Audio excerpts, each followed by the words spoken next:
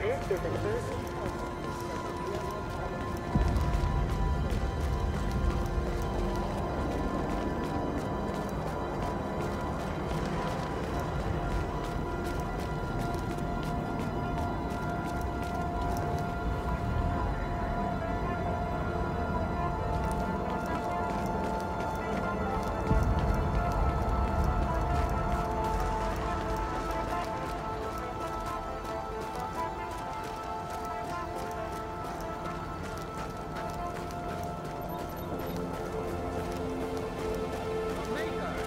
sent his message.